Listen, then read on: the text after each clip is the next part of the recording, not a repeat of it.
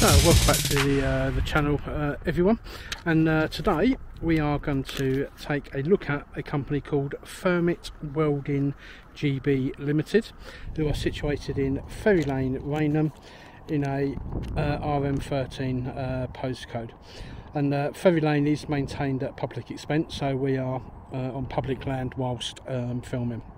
Now, Thermit Limited was first established in London in 1904 by Goldschmidt Company. In 1919, Goldschmidt formed Elektro-Thermit GmbH in Essen, in Germany, to develop the market and um, start again uh, to develop the market. The LU monothermic business and in 1958 Thermit Welding GB Limited was formed by Murex Limited and Elektro-Thermit uh, GmbH based at its present location in Rainham, Essex. Now Murex Limited was so, uh, subsequently taken over by BOC who later sold its holding in the company to the TH Goldschmidt AG. In, two, uh, in the year 2000, uh, the company reverted to full ownership uh, by the uh, Goldschmidt Thermit Group, which comprises of over 20 companies uh, associated with the development, manufacture, distribution, and technical support for the Thermit welding process. Now, stitching some details of the uh, the Thermit welding process as well. Now.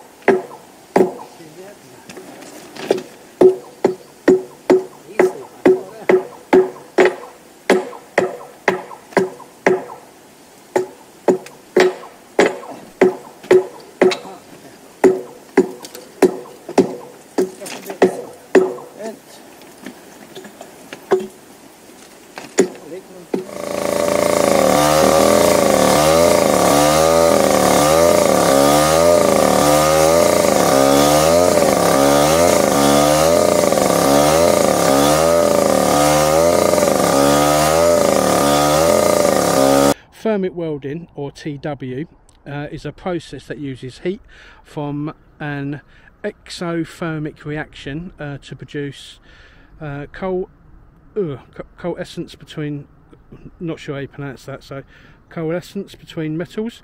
Uh, the name is de- debi- uh, derived from thermite, the generic name given uh, to reactions between metal oxides and reducing agents. Now, Today, the company remains a strategic supplier to the railways and continues to develop products and welding methods to meet the demands for continual improvement with investment in new production methods, research and development, on site training, technical support, and specialised contract services. Now, there are three uh, directors of uh, the company. Uh, the three directors are Michael Cowan, uh, who resides in the UK, plus Dr. Martin Nieder, I think it's Niederkruger, and Paul Redman, who both reside in Germany. Uh, Mr. Paul Redman is actually an Australian, and he has actually, and he has significant control of the company. Now, the accounts are made up to the 31st December 2021 um, and are that of a small company. So the information available is quite limited. But I'll add a link into the description of the accounts uh, for you to have a look at. So before we go and have a look at uh, thermal welding, there's just something here that I uh, noticed. Uh, which is called the Crown Walkway uh, Living Wildlife um, Corridor. London Riverside bids 1,000 trees initiative. So it's welcome to the Crown Walkway uh, and the two new uh, native hedgerows. This small patch of land is safeguarded by the, the London Riverside bid for public use and to help preserve the area's rich nat natural habitats.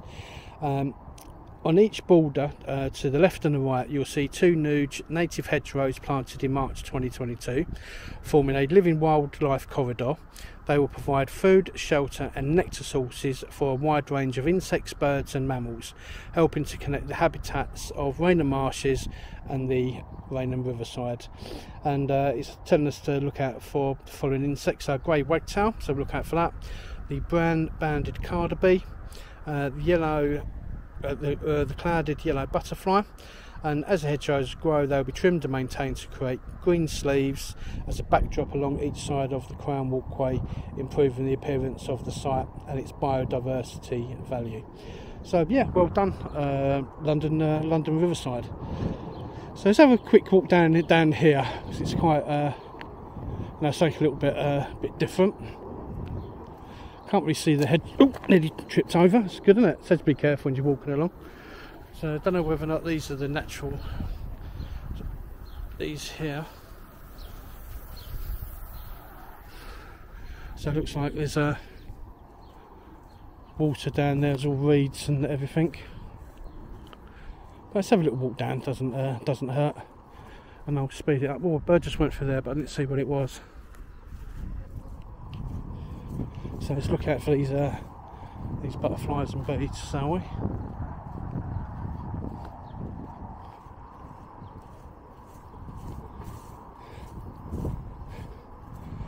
Yeah, so this is just a, a bee buzzing about there, but that's the uh, the one. Now this corridor links up Cold Harbour Lane and Ferry Lane. So yeah, that's pretty much uh, pretty much it. So it doesn't look like the hedgerows are really taken off yet. Might take a while uh, to grow. But uh, so what I do, I'll probably speed up this video, my normal walking along video as I speed it up and uh, pick it back up when we get to the uh, the company we want to have a look at.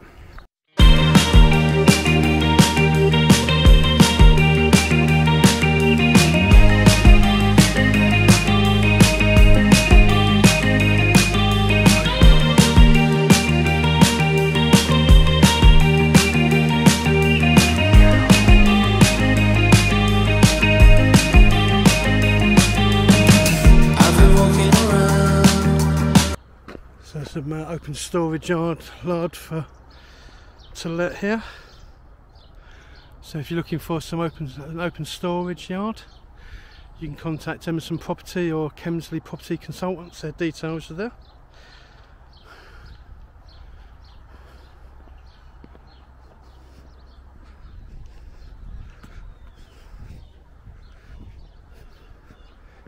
And the footpaths are quite well maintained for uh, council uh, council land, which is uh, good to see. Public land. So this is the uh, building. Looks like they're all closed up. Again, it's Saturday, so it doesn't look like there's anyone uh, anyone here. It says pull the gates uh, open. But I can see it's all padlocked up, which is which is good. Looks like a parcel's been just chucked over the fence there. Someone reach that? I reckon they could. So it's not very good by the uh, delivery driver. There, let's zoom in so we can see. See what that is. So the building's quite interesting. You can see they've been here since the 1950s. So it's definitely got that 1950 architectural look and feel to it. There's a couple of silos at the uh, at the back, on the side. When we get Beverly up, we'll be able to have a, a bit of a better look. And that's the uh, like kind of the front of the building. Looks ve- very much like the front of a an old 19 old school building or a town hill building. They've got a flag pole there, but they've got no flag flying. They've got visitor parking spaces all here. No electric charging points that I can see. In here. Plenty of CCTV in operation. You see with a some as you can see bottles that are in a storage facility there. So don't know what they are, them bottles.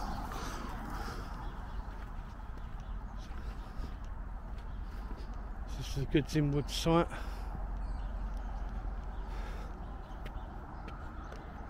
Got a window open down the side there, so it's a bit of a security risk potentially that. A has cam warning sign on there as well.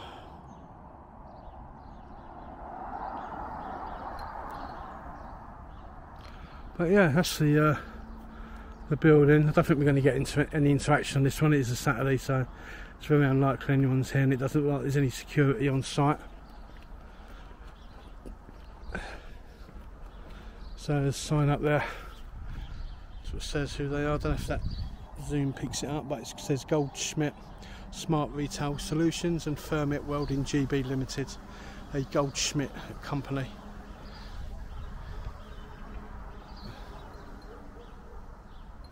But yeah, that's the uh, that's the building.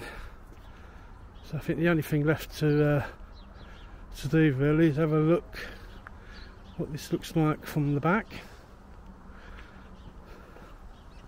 and what's down the sides that is hidden out of public view